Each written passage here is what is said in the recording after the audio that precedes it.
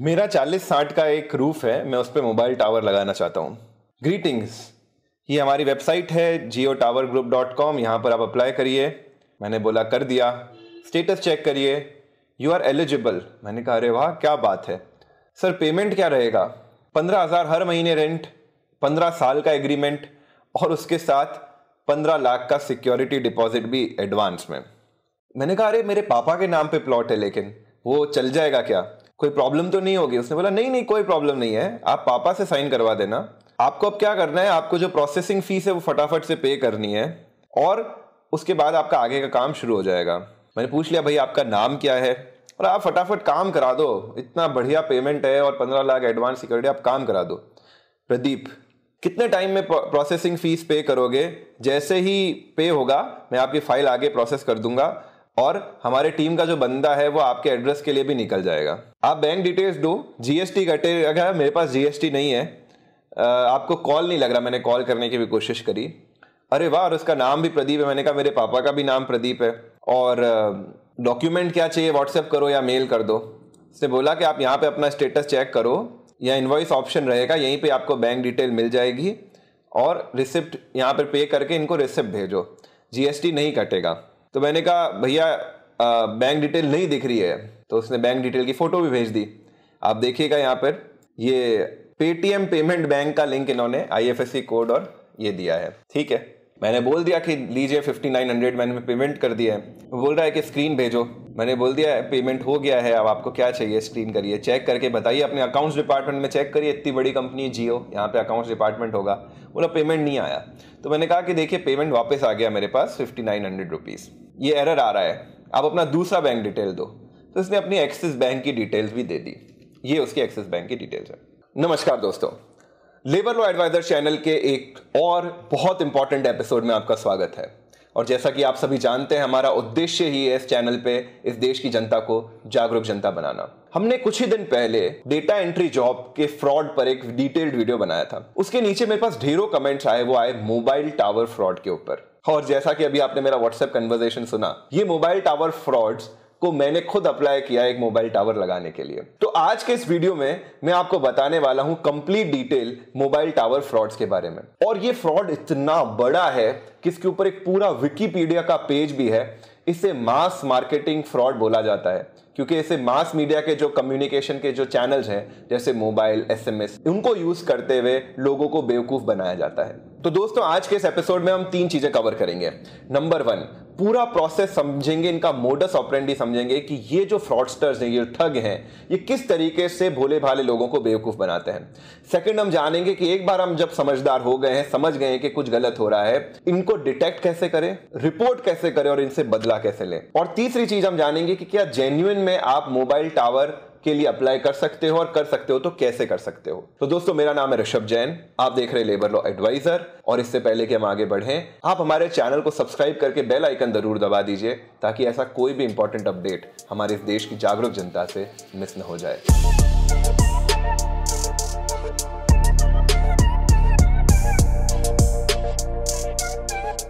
तो जो mobile tower का फ्रॉड है, इतने मास लेवल पे हो रहा है। इनफैक्ट आप अगर गूगल पर सर्च करेंगे mobile tower mobile tower installation इस तरीके के कीवर्ड्स तो आपको ढेरों एड्स और लगभग सारी ही फेक वेबसाइट्स वहाँ पर नज़र आएगी। तो दोस्तों, आइए स्टेप बाई स्टेप समझते हैं कि किस तरीके से ये शातिर लोग इस देश की जनता को बेवकूफ़ बना रहे हैं। तो सबसे पहले इनका स्टेप रहता है लोगों को अपने चंगुल में फंसाना। इसके लिए तीन तरीके कॉमनली यूज़ करते हैं। सबसे पहला यूज़ करते हैं न्यूज़पेपर में क्लासिफाइड एड्स सेकंड ये यूज़ करते हैं वेरियस वेबसाइट्स पर डिस्प्ले एड्स और थर्ड और जो इनका सबसे पावरफुल तरीका रहता है वो रहता है गूगल एड्स जी हाँ अगर आप गूगल पर सर्च करेंगे तो इनके ढेरों एड्स दिख जाएँगे।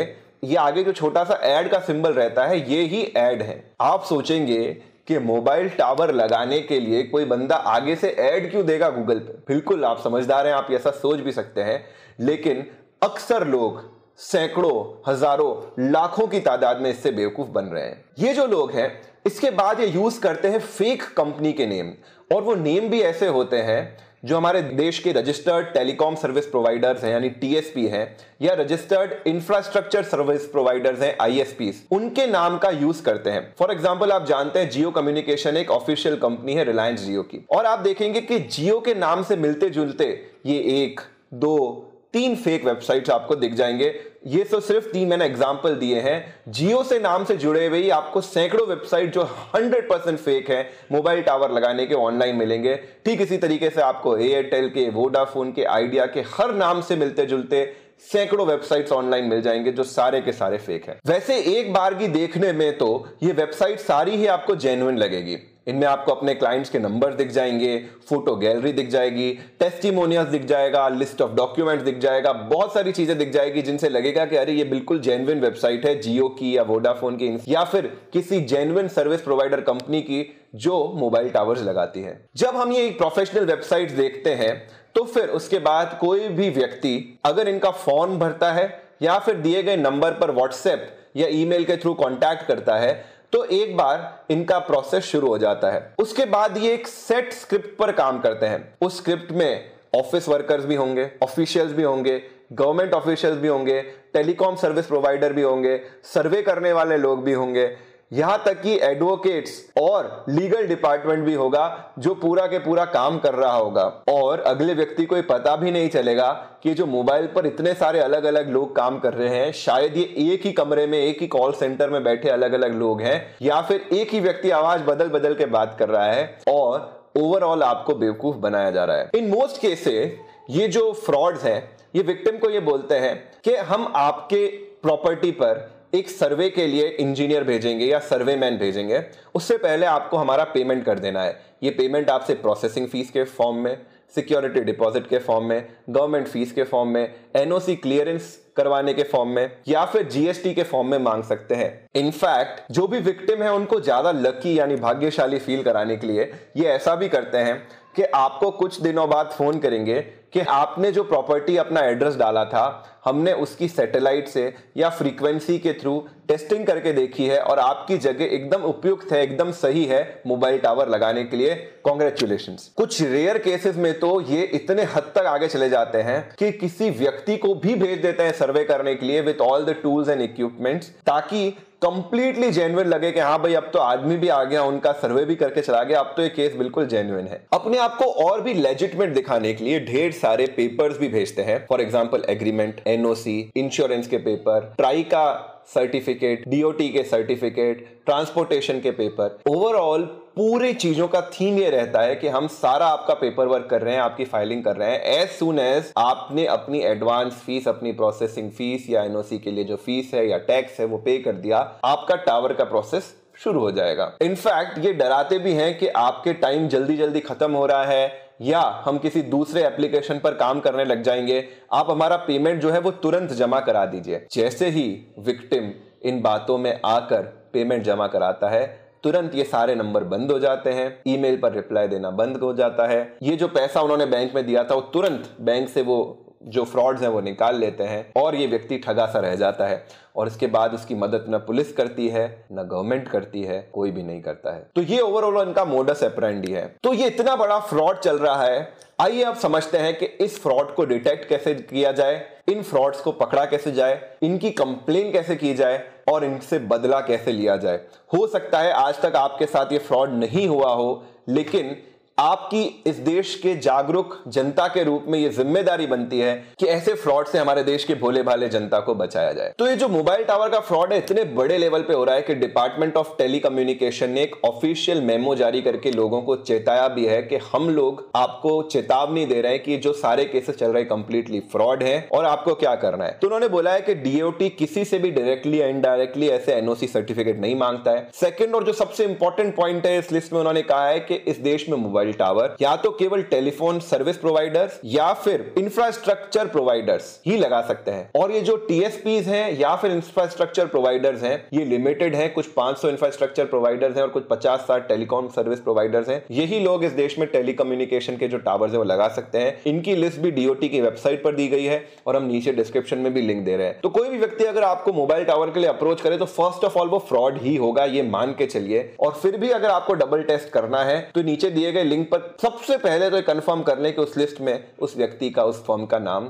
है कि नहीं। इसके बाद डीओटी अपने ऑफिशियल मेमो में कहता है कि कोई भी कंपनी या टीएसपी या इंफ्रास्ट्रक्चर सर्विस प्रोवाइडर अगर आपसे एडवांस में फ़ीस की डिमांड कर रहा है, कुछ भी एडवांस पैसा मांग रहा है तो तो एक्स्ट्रा कॉशियस हो जाइए और बिल्कुल ध्यान रखिए कि उसके फ्रॉड होने की चांसेस बहुत ज़्यादा है। और मान लीजिए आप किसी इस तरह के फ्रॉड के विक्टिम हैं, या फिर आपके साथ ऐसा फ्रॉड करने की कोशिश की जा रही है, या इन जनरल आप लोगों को बचाना चाहते हैं फ्रॉड से तो आप अपने लोकल पुलिस स्टेशन में कंप्लेन कर सकते हैं, और नहीं कर पा रहे हैं तो आप लोकल टेलीकम्युनिकेशन के ऑफ़िस टर्म वहाँ पर जाकर भी इसकी कंप्लेन कर सकते हैं, जिनके एड्रेस की डिटेल्स भी डीओटी की वेबसाइट पर अवेलेबल है। तो दोस्तों हम बात करते हैं कि मोबाइल टावर पर क्या जेन्युइनली अप्लाई किया जा सकता है कि आप अपने घर पर मोबाइल टावर लगा सकते हैं। इनफैक्ट इतना अच्छा प्रपोजल लगता है कि घर के ऊपर जो छत खाली पड़ी या कोई प्लॉट खाली पड़ा है, वहाँ पर टावर लगा दीजिए। और वहाँ पर पंद्रह से बीस साल का कॉन्ट्रैक्ट भी है फिक्स्ड इनकम होती रहेगी, कोई दिक्कत नहीं है, कोई झंझट नहीं है। तो यही एक बहुत बड़ा कारण है कि इतने सारे लोग ऐसे बुलावों में, ऐसे झांसों में पड़ जाते हैं। मैंने अपने एक दोस्त से बात करी, जिन्होंने अपने घर के पास में ही अपने प्लॉट पर एक मोबाइल टावर लगा रखा है। उनसे बातचीत से मुझे कुछ ये बिंदु पता चले। नंबर वन 99% केसेस में ये कंपनीज़ की जगह लोकेशन पिन पॉइंट तक फिक्स रहती है, जहाँ पर ये मोबाइल टावर लगाना चाहते हैं। इनफैक्ट इस देश में इतना ज़्यादा पेनिट्रेशन है टावर्स का। हर जगह तो ये कंपनी अपनी इतनी कॉस्ट लगाकर मोबाइल टावर लगाएगी नहीं। जहाँ पर डिमांड है और उनका नेटवर्क नहीं है, ऐसी जगह पहले कंपनी आइडेंटिफाई आइडेंटिफाई करती है और उसके बाद वहाँ पर ही टावर लगाया जाता है। अगर आपके एरिया में मान लीजिए जियो का या एयरटेल का नेटवर्क आ रहा है तो एनीवेज आपके घर के आसपास वो टावर नहीं लगाएँगे और आपके कितने भी अप्लाई करने से टावर नहीं लगाएँगे। तो उसने मुझे यही बताया कि उनके घर पे खुद से ये लोग आए थे, उनके प्लॉट वगैरह देखकर, और उन्होंने बोला कि हम ये इस एरिया में टावर लगाना चाहते हैं क्या आप इंटरेस्टेड हैं। नंबर सेकंड जब बात की जाती है इसमें, इसकी रेंटल की तो रेंटल इसमें इतना बढ़ा चढ़ाकर बताया जाता है, अस्सी हज़ार, नब्बे हज़ार, लाख रुपए पर मंथ इतना इतना ज़्यादा रेंटल होता नहीं है। ये रेंटल रूरल इलाकों में पाँच सात हज़ार रुपए से शुरू होकर जो शहरी इलाके हैं, जो second tier tier two cities है, वहाँ पर पंद्रह से बीस हज़ार। और मान लीजिए कोई टीयर वन सिटी और बहुत ही डेंसली पॉपुलेटेड एरिया है, दिल्ली है मेट्रोज है, वहाँ पर ये तीस, चालीस, पैंतालीस, पचास हज़ार तक हो सकता है। उससे ज़्यादा नहीं। ये जो लाख, डेढ़ लाख रुपए की बात करते हैं, सारे के सारे फेक हैं।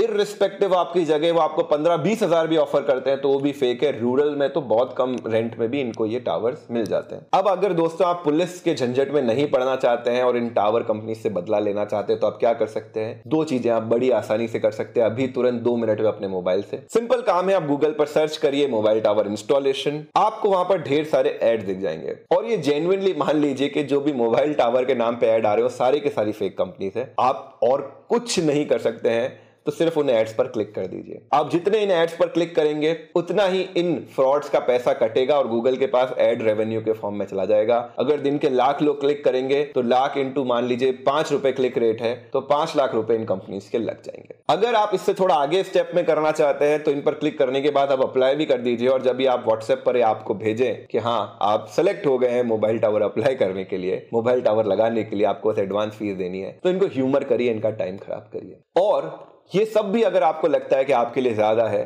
तो कुछ भी मत करिए, ये वीडियो आपने पूरा देखा है। इस वीडियो को शेयर ज़रूर कर दीजिए अपनी सोशल मीडिया पर, ऐसे लोगों के साथ जो शायद इस फ्रॉड का शिकार हो सकते हैं। तो दोस्तों, अपनी फाइनेंशियल हेल्थ है, उसको इंप्रूव करने के लिए ज़्यादातर लोग इस कुछ इस तरह के फ्रॉड्स में फंस जाते हैं। मेरा ऐसा सुझाव है कि आप अगर अपनी फाइनेंशियल हेल्थ इंप्रूव करना चाहते हैं तो उसके लिए दो ही तरीके हैं। सेव करिए और इन्वेस्ट करिए। अगर आप सेविंग कर रहे हैं अपने सेविंग बैंक अकाउंट में तो उससे बेहतर है कि आप कोई ना कोई म्यूचुअल फंड ऐप के थ्रू इन्वेस्टमेंट और सेविंग करिए, जिसके लिए कुवेरा एक अच्छी ऐप है, जिसको मैं पर्सनली यूज़ करता हूँ, और उसमें अपना सारा भी जो बैंक से पैसा है वो ट्रांसफ़र कर देता हूँ। कुवेरा का डाउनलोड लिंक आपको नीचे डिस्क्रिप्शन में मिल जाएगा, बड़ी सिंपल और आसान है। ठीक इसी तरीके से अगर आप शेयर मार्केट में इन्वेस्ट करना चाहते हैं तो उसके लिए मैं पर्सनली यूज़ करता हूँ अपस्टॉक्स ऐप। वो ऐप हिंदी और इंग्लिश दोनों भाषाओं में अवेलेबल है, और अगर आप नीचे दिए गए लिंक के थ्रू वो ऐप इंस्टॉल करेंगे तो आपको अट्ठाईस हज़ार रुपए तक के कोर्सेज फ्री मिलेंगे। जिसके थ्रू आप शेयर मार्केट के बारे में और जानकारी ले सकते हैं। डीमेट अकाउंट ओपनिंग चार्जेस बिल्कुल फ्री है, शून्य है, कोई भी पैसा आपका उसमें नहीं लगने वाला है। तो दोस्तों, उम्मीद करता हूँ आपको ये आज का एपिसोड पसंद आया होगा और ज़रूर इस देश में कुछ ना कुछ जागरूकता बढ़ी होगी। इतना ही लेबर लॉ टीम का प्रयास है। इसी तरह हमारे साथ जुड़े रहिए, हमेशा जागरूक रहिए। जय हिंद, जय भारत।